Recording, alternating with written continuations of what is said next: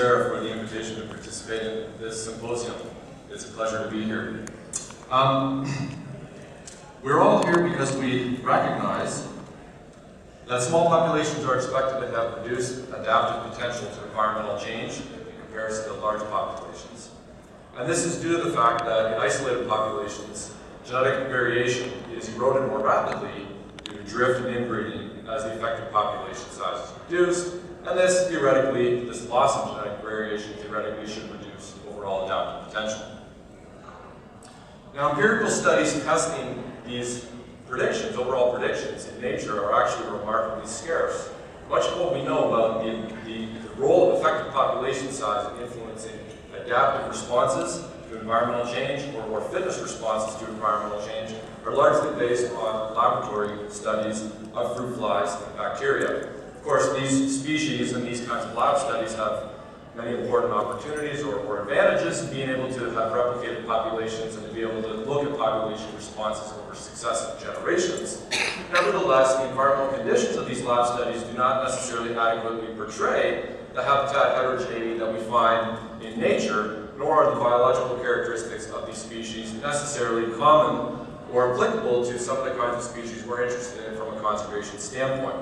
And so what I want to try to do today is to um, bridge some of the current conservation or, or knowledge gaps that we have regarding small population responses to environmental change by overlaying results from a series of different observational, common garden, and field experiments that our lab has conducted over the last several years on the same set of natural populations. So our study species is the brook trout. This is an endemic freshwater fish of eastern North America. It thrives in cold water, headwater streams and lakes uh, where a lot of other species are not found.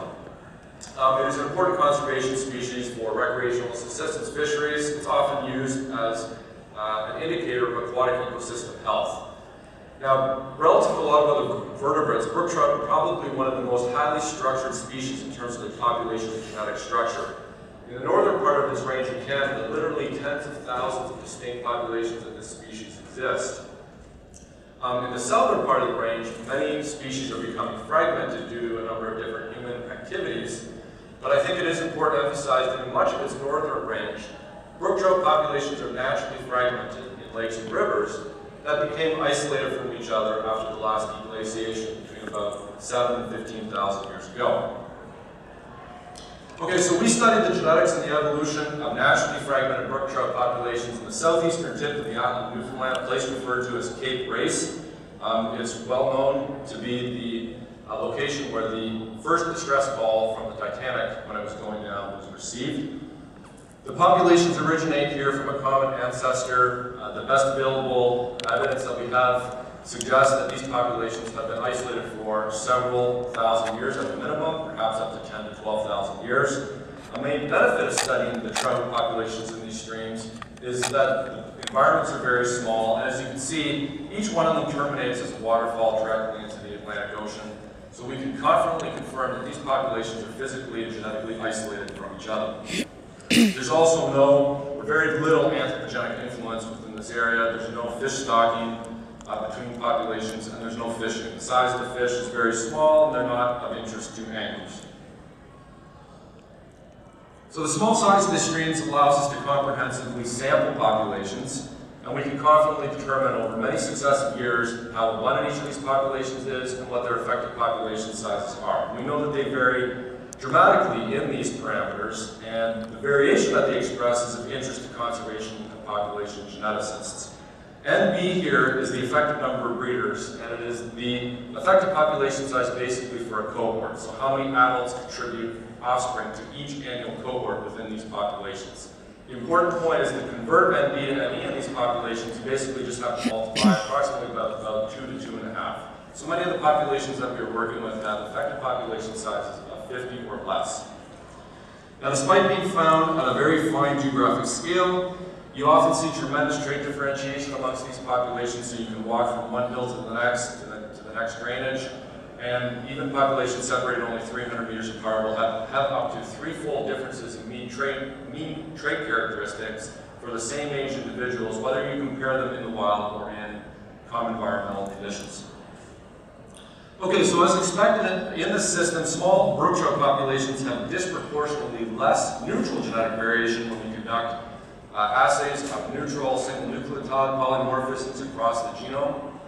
Um, but when we generate very large numbers of full and half siblings uh, within each of these populations, and rear them under common environmental conditions, we find no evidence for a positive relationship between the amount of additive genetic variance underlying different traits and population size.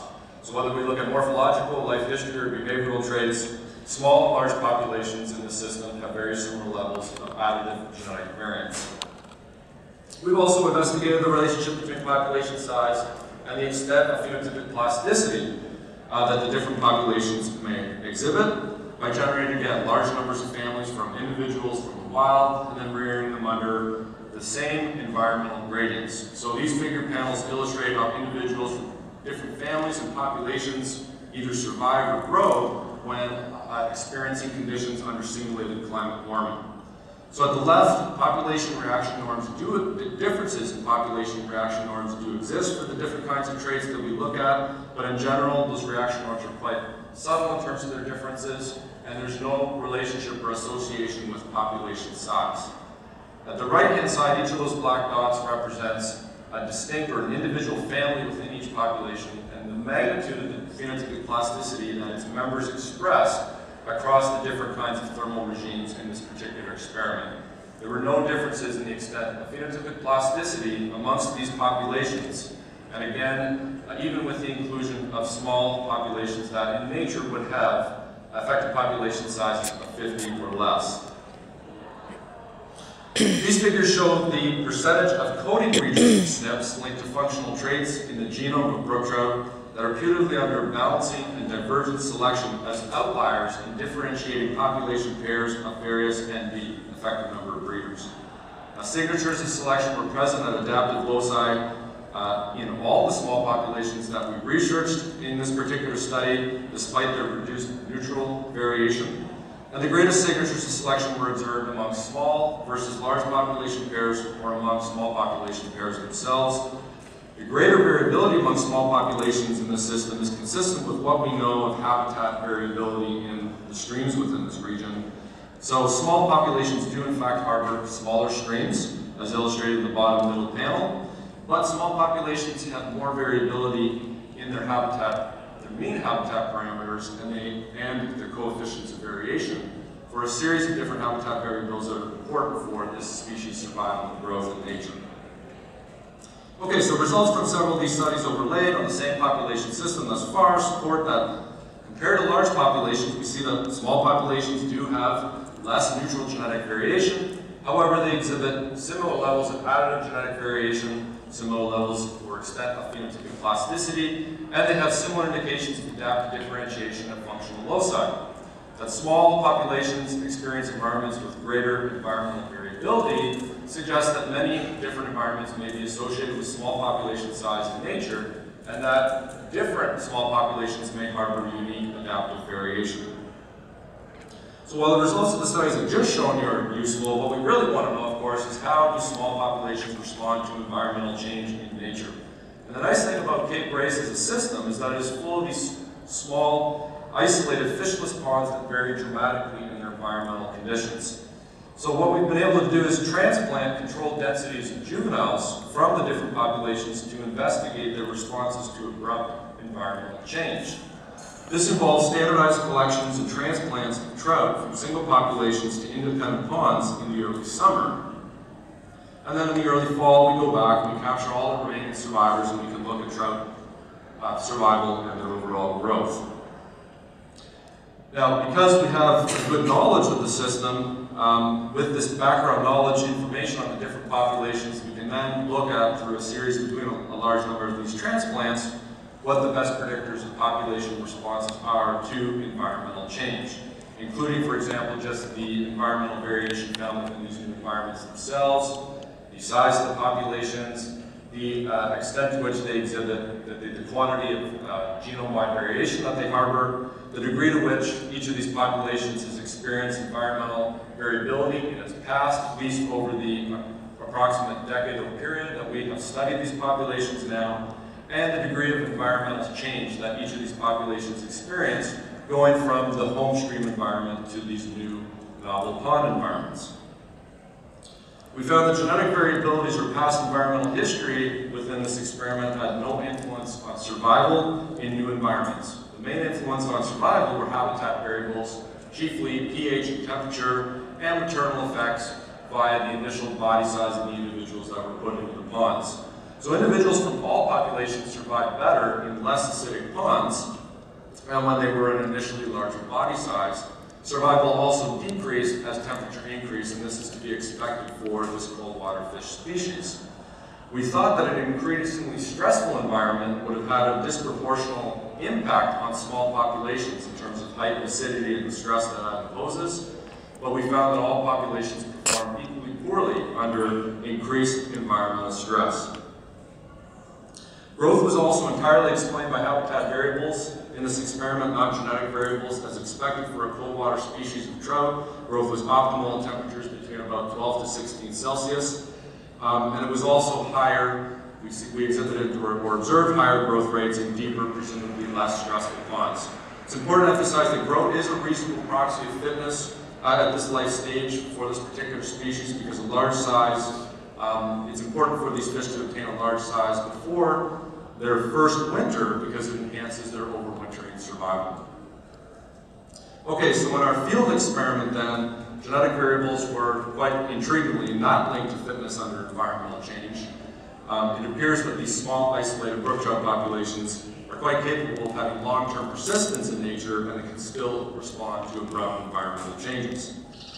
It is only when populations are transplanted to extreme conditions, environmental conditions in our university's wet lab, and reared under a single generation, that some of these effects of small population size or gen lower genetic variation are first evident. All populations uh, exhibit significant mortality in the captive environment, but have overall poor lifetime reproductive success, but nevertheless it's the populations with the reduced heterozygosity that exhibit the poorest performance and experience the greatest phenotypic change relative to their wild counterparts. The implication from a conservation standpoint is that the nature of environmental change that wild populations experience is likely going to influence the degree to which those classic genetic, effects of small population size will be a concern.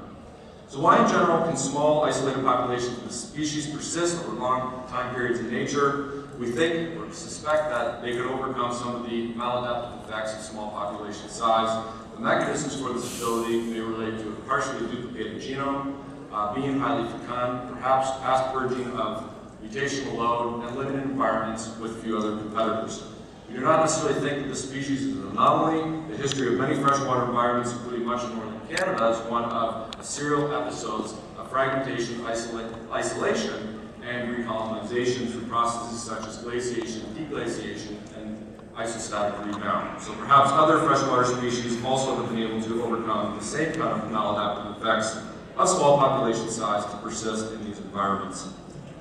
So overall, our work suggests that small, low-diversity populations of some species can be an important sources of variation and may be capable of maintaining long-term fitness in and ultimately potentially adapting to changing natural environments. If we can determine, of course, which species and populations this applies to most, certainly this would benefit the field of conservation in terms of how to prioritize its resources. There's still much to learn about which metrics may better predict adapt responses to environmental change in nature.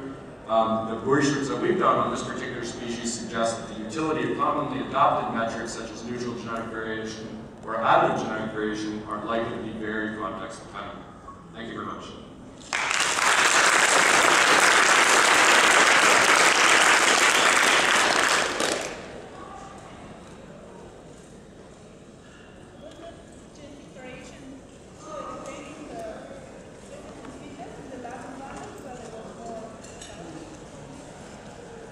That's correct, yes. So the question was, was the genetic variation explaining more of the fitness in the captive environment where things were stressful? And I think one of the things that I've learned a lot from doing this research with my students is that we tend to view captivity as being a, a, a sort of benign environment, but in actual fact, when you bring wild populations into these environments, it can be very stressful for them.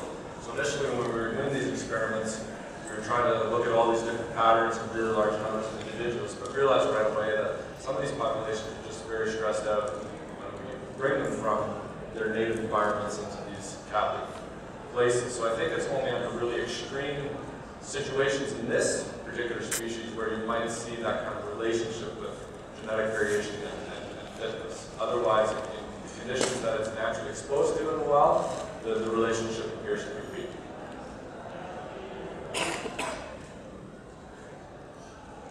It's really interesting, and some of those sizes are so small. I just was curious if there was anything known about any demographic mechanisms that might enable persistence, like negative density dependence or anything else. And it's an excellent question. So I think this species, I, what I suspect is probably going on is that because of the nature of being highly fecund and, and carrying a significant amount of genetic variation in terms of the duplicated loci in much of its genome, probably what happens is that in, every single cohort there are lots of gene combinations that do not work, but because the, the species is highly fecund and it's got a, a, a quite short generation time, two to three years, it seems like enough kind of can get through even if there are there's a certain degree of maladaptation at, at an average level across each cohort. And so demographically speaking, it can, the, the, the species can basically fill the carrying capacity in whatever whatever size the, the habitat is